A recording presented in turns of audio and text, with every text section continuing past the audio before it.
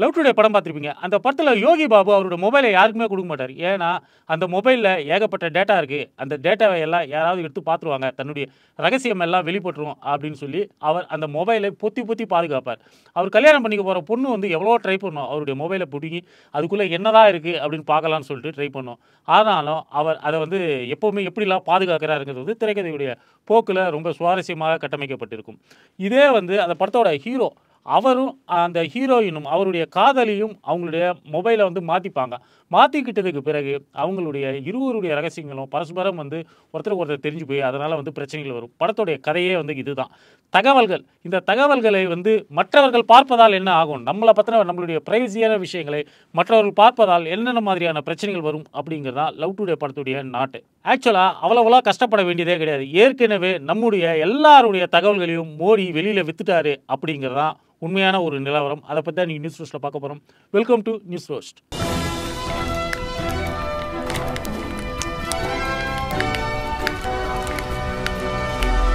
நம்முடைய ரகசியங்கள் அப்படின்னு சொல்லிட்டு இன்னைக்கு எதையெல்லாம் சொல்லலாம்? நீங்கள் யார்கிட்ட கடன் வாங்குனீங்க? யாருக்கு ஜிபே பண்ணீங்க? என்ன வாங்குனீங்க? என்ன பொருளை போய் கடையில் வாங்குனீங்க? இது மாதிரியான விஷயங்கள் தான் நம்மளை பற்றின இன்றைய தகவல்கள். பர்சனலான விஷயங்கள் எல்லாம் விட்டுருங்க. அதையெல்லாம் வந்து சிசிடிவி பார்த்துக்கும். மற்றபடி இந்த மாதிரியான விஷயங்களை எல்லாம் கண்காணிக்கக்கூடிய அமைப்புகளாக என்னெல்லாம் இருக்குதுன்னு பார்த்தீங்கன்னா ஆதார் கார்டு இருக்குது உங்களுடைய பேன் கார்டு இருக்குது உங்களுடைய கிரெடிட் கார்டு இருக்குது இது போன்ற விஷயங்களில் என்ன மாதிரியான தகவல் எடுக்கப்படும் அப்படின்னு பார்த்தீங்கன்னா உங்களுடைய ஒட்டுமொத்தமான பொருளாதாரம் சம்பந்தப்பட்ட எல்லா டிரான்சாக்ஷன்ஸுமே வெளியில் இருக்கிறவங்களுக்கு கிடைக்கும். அது எந்த வகையில் அவர்களுக்கு லாபம் அப்படின்னு பார்த்தீங்கன்னா நீங்கள் என்ன பிராண்டு சிகரெட் பிடிக்கிறீங்க நீங்கள் என்ன பிராண்டு சரக்கு அடிக்கிறீங்க நீங்கள் எதையெல்லாம் அடிக்கடி வாங்குறீங்க அப்படின்னு சொல்லிட்டு வெளியே இருக்கக்கூடிய வியாபாரிகள் கவனிச்சுட்டு அவங்களுடைய வியாபார யுக்திகளுக்கு உங்களை பயன்படுத்திக்கிறாங்க. வெளிநாடுகள்லாம் இந்த ரகசியங்கள் ரொம்ப ரொம்ப சீக்ரெட்டாக மெயின்டைன் செய்யப்படும். ஆனால் இந்தியாவில் ரகசியங்களுக்கு எந்த விதமான மதிப்பும் இல்லை. குறிப்பாக மோடி ஆட்சி காலம் வந்ததற்கு பிறகு நம்மளுடைய ரகசியங்கள் எல்லாம் சல்லிஸாக டார்க் வெப் என்று சொல்லப்படக்கூடிய இணையத்தின் இன்னொரு பக்கத்தில் ரொம்ப கம்மியான ரேட்டுக்கு விற்பனைக்கு கிடைக்கிறது அப்படிங்கிறதா இதில் இருக்கக்கூடிய சோகம் ரெண்டாயிரத்தி பத்தொன்பதாம் ஆண்டு வேர்ல்டு எக்கனாமிக் ஃபாரம் சொல்லப்படக்கூடிய ஒரு சர்வதேச அமைப்பு ஒரு விஷயத்தை சொல்லிச்சு. அது என்ன சொல்லிச்சுன்னா உலகத்தின் மிகப்பெரிய டேட்டா பிரிட்ஜ் நடந்திருக்கிறது. அது இந்தியாவில் நடந்திருக்கிறது. இந்தியாவில் இருக்கக்கூடிய நூற்றி பத்து கோடி மக்களுடைய தகவல்கள் எல்லாமே டார்க் நெட்டில் விற்பனை செய்யப்படுகிறது அப்படின்னு ஒரு தகவலை அது சொல்லிச்சு. அது சொன்னப்போ இந்திய அரசாங்கம் பதறி போச்சு அப்படியெல்லாம் ஒன்றும் இல்லை. எங்களுடைய சர்வர் எல்லாம் ரொம்ப ஸ்ட்ராங்கானது இதுக்குள்ளே வந்து டேட்டா பிரீச்லாம் யாரும் பண்ண முடியாது. யாரும் எங்கள் சர்வர்ஸை வந்து ஹேக் பண்ண முடியாது. எங்களுடைய தகவல்கள் எல்லாம் பாதுகாப்பாக இருக்கிறது அப்படின்னு சொல்லிச்சு. இருந்தாலும் அப்போது டார்க் வெப்பில் இந்தியர்களுடைய தகவல்கள் பத்து நிமிடங்களுக்கு ஆக்சஸ் கொடுப்பாங்க. ஐநூறுரூவாய் செலுத்தினா.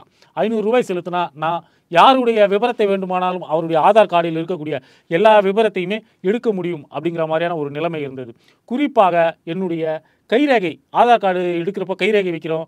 கண்ணில் வந்து அவங்க வந்து ஸ்கேன் பண்ணுறாங்க இது போன்ற டீட்டெயில்ஸ் எல்லாம் கூட ஒருத்தன் வெறும் ஐநூறுரூபாய்க்கு வாங்க முடியும்.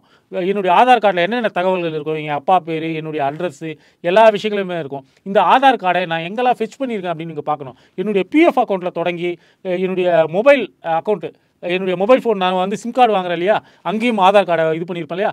அதனால் ஒரு ஆதார் கார்டு டீட்டெயில் ஒருத்தங்கிட்ட கிடச்சிச்சின்னா இந்த ஆதார் கார்டு எங்கெல்லாம் ஃபிச் ஆச்சோ அங்கே இருக்கக்கூடிய எல்லா டீட்டெயில்ஸையும் ஒருத்தனால் ரொம்ப ஈஸியாக எடுத்து விட முடியும். ரொம்ப சுலபமாக வெறும் ஐநூறுரூவா செலவு பண்ணால் உங்களுடைய ஜாதகத்தையே என்னால் எடுத்துட முடியும். அப்படின்னா எந்த அளவுக்கு இந்திய அரசாங்கம் நம்மளுடைய ரகசியங்களை மெயின்டைன் செய்கிறது? ஒருவேளை இவர்களே தான் சல்லிசான ரேட்டுக்கு அதை வித்துட்டாங்களோங்கிற சந்தேகம் வருகிறது. ஏன்னு பார்த்தீங்கன்னா இப்போது என்னுடைய ஆதார் கார்டில் சம்பந்தமான ஒரு சர்வீஸை நான் கேட்கணும்னு வச்சுங்களேன் ஓடிபி எங்கே வரும்? என்னுடைய ஃபோன் நம்பருக்கு வரும். என்னுடைய ஃபோன் நம்பர் ஆதாரோட ஃபிச் ஆகியிருக்கும் இது மாதிரி ஓடிபியை ஒரு இந்திய அரசு நிறுவனம் தானே அனுப்ப முடியும். ஆனால் ஜியோ மாதிரியான செல்ஃபோன் சர்வீஸ் ப்ரொவைடர்ஸ் அவங்க உங்களுடைய ஆதாருடைய முழு டீட்டெயில்ஸ் வச்சுருக்காங்க. நீங்கள் எடுத்துகிட்டு போய் உங்களுடைய ஆதாரை கொடுத்தீங்கன்னா உங்கள் உங்களுடைய ஆதாரில் இருக்கக்கூடிய தகவல்கள் எல்லாம் சரியானதான்னு சொல்லிட்டு அவங்களுடைய டேட்டாவில் அவங்க செக் பண்ணி அது சரியானது தான் அப்படின்னு எப்படி சொல்ல முடியுது? எப்படி ரிஜெக்ட் பண்ண முடியுது? அப்போனா நம்மளுடைய ஆதார் டீட்டெயில்ஸ் எல்லாம் ஜியோ போன்ற தனியார் ஆட்களிடமும் இருக்கிறது. இந்த மாதிரியான பெரும் முதலாளிகள் எல்லாருமே நம்மளுடைய டீட்டெயில்ஸை எடுத்து வச்சிருக்கிறாங்க. இதை அவர்கள் எதற்கு வேண்டுமானாலும் பயன்படுத்தலாம். அதுதான் இங்கே முக்கியமான ஒரு விஷயம். ஒரு கொலகாரங்கிட்ட ஒரு கிரிமினல் கிட்ட நம்மளுடைய டீட்டெயில் ஃபுல்லாக மாட்டிச்சுன்னா அவன் அதை வச்சு என்னன்னாலும் பண்ணலாம். என்னுடைய கைரேகையே அவங்ககிட்ட இருக்குது அப்படின்றப்போ எங்கேயோ எவ எவனையோ அவன் போட்டு தள்ளிட்டு என்னுடைய கைரேகையை அங்கு அவன் எடுத்து வச்சுட்டானா போலீஸு என்ன வந்து தான் பிடிக்கும். எவ்வளோ பெரிய ஒரு ஆபத்து இது. உங்களுடைய டேட்டா பிரீச் ஆச்சுன்னா அது ஒரு சாதாரணமான ஒரு விஷயம் கிடையாது. உங்கள் மீது ஒருத்தன் கொலை குற்றம் சாட்டலாம். கொலை நடந்த இடத்தில் உங்களுடைய கைரேகை இருக்கும். அப்போனா இது எவ்வளவு சீரியஸான ஒரு விஷயம் அப்படின்னு நீங்கள் பார்க்கணும். நூற்றி பத்து கோடி இந்தியர்களின் ஆதார் தகவல்கள் திருட்டு போச்சு அப்படிங்கிறது அது ரெண்டாயிரத்தி பதினெட்டு அந்த வாக்கில் நடந்தது. ரெண்டாயிரத்தி இருபத்தி ரெண்டு ஜனவரியில் ஒரு தகவல் வந்து வெளியில் வந்தது. அது என்னென்னா நம்மளாம் கொரோனாவுக்கு தடுப்பூசி போட்டுக்கிட்டோம் இல்லையா? தடுப்பூசி போட்டுக்கும் போது நம்மளுடைய ஆதார் கார்டை எடுத்துகிட்டு போயிட்டு கோவின் அப்படின்னு சொல்லப்படக்கூடிய ஒரு இணையதளத்தில் பதிவு பண்ணோம். அந்த இணையதளத்தில் நம்ம எங்கே ஊசி போட்டுக்கிட்டோம் தொடங்கி எல்லா டீட்டெயில்ஸையும் வந்து நம்ம கொடுத்துருக்குறோம்.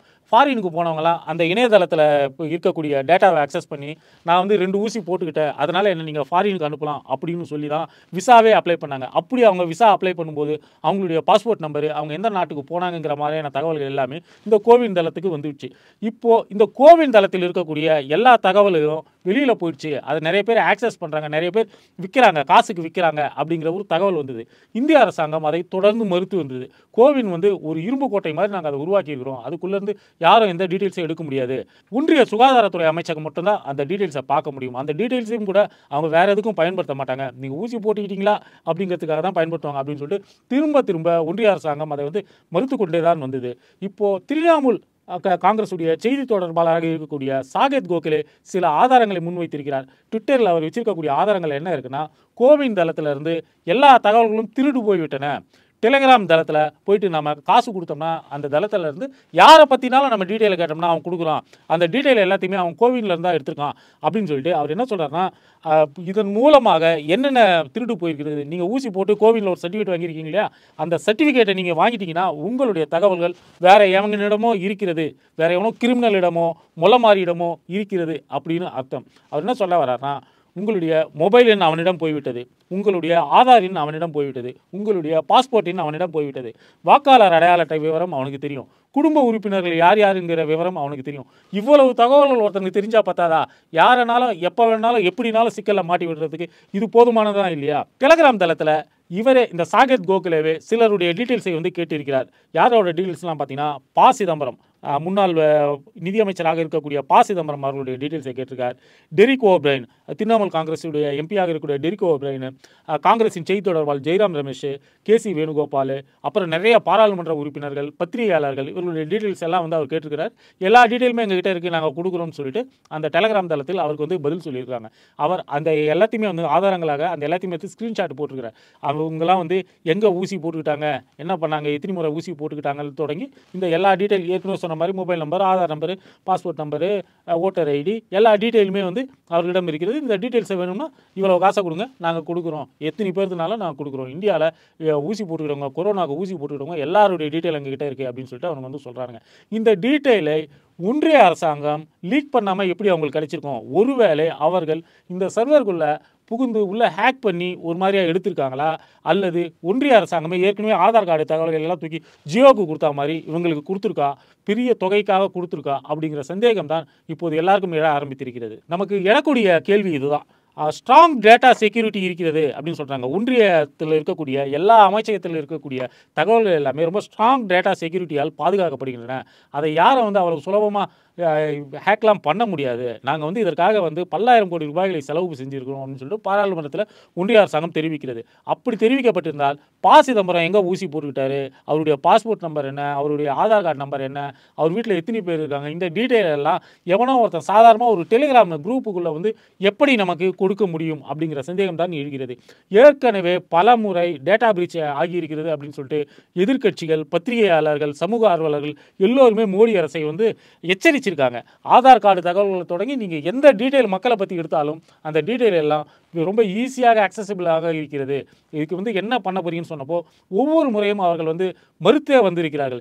என்ன ஆச்சு ஏதாச்சு நாங்கள் விசாரணை பண்ணுறோம் அந்த ரேஞ்சில் கூட அவர்கள் வந்து சொன்னதே கிடையாது. இவங்க இந்த டீட்டெயில்ஸ்கள்லாம் யார் யாருக்கு ஆக்சஸ் கொடுத்துருக்காங்கன்னு தெரியல. நம்ம ஏற்கனவே சொன்ன மாதிரி ஆதார் கார்டுக்கு ஜியோ மாதிரியான பல்வேறு தனியார் நிறுவனங்களுக்கு ஆக்சஸ் இருக்கிறது. அதன் மூலமாக தான் அவங்க வந்து நம்ம வந்து ஆதார் கார்டு சப்மிட் பண்ணதுமே உடனடியாக இது சரியானதா இல்லையா அப்படிங்கிறதெல்லாம் செக் பண்ணி வந்து அவங்க நமக்கு சிம் கார்டு கொடுக்குறாங்க. அது மாதிரி இந்த கோவின் சர்டிஃபிகேட்டு இது மாதிரி எண்ணற்ற திட்டங்களில் வந்து நம்ம எவ்வளோ டீட்டெயில்ஸை வந்து கவர்மெண்ட்டுக்கு கொடுத்துக்கிட்டே இருக்கிறோம். கடன் வாங்குறதுல தொடங்கி எல்லா விஷயத்திலும் கல்வி கடன் வாங்குறோம். அப்போ நம்ம நிறைய டீட்டெயில்ஸ் எல்லாம் கொடுக்குறோம். இது எல்லாத்தையுமே வந்து நம்ம நம்பிக்கையில் தான் கொடுக்குறோம். ஒருத்தர் நம்ம வந்து பேன் கார்டு நம்பர் என்னன்னு சொல்லி கேட்குறான் பேங்க்லலாம் பேன் கார்டு நம்பர் எல்லாம் கொடுத்துருக்கோம். அதெல்லாம் ஃபிக்ஸ் பண்ணியிருக்கோம். அதெல்லாம் வந்து நம்ம ஒரு நம்பிக்கையில் கொடுக்குறோம். இவங்க வந்து வெளியில் யாருக்கும் சொல்ல மாட்டாங்க அப்படிங்கிற ஒரு நம்பிக்கையில் தான் கொடுக்குறோம். அப்படி இருக்கிறப்போ கவர்மெண்ட்டுக்கு நாம் கொடுத்த டீட்டெயில்ஸ் எல்லாமே இன்று வெளியே கள்ள மார்க்கெட்டில் காசுக்காக விற்கப்படுகிறது அப்படின்னும் போது இந்தியாவை ஆளுவதற்கான தகுதியோ யோகியதையோ இவர்களுக்கு கிடையாது என்பது நி- வெகு நிச்சயமாக தெரிகிறது. வீடியோ பார்த்தவங்க லைக் பண்ணுங்கள் ஷேர் பண்ணுங்கள் கமெண்ட் பண்ணுங்கள் இதுவரை நம்ம சேனலை சப்ஸ்கிரைப் பண்ணாதவங்க மறக்காமல் சப்ஸ்கிரைப் பண்ணுங்கள்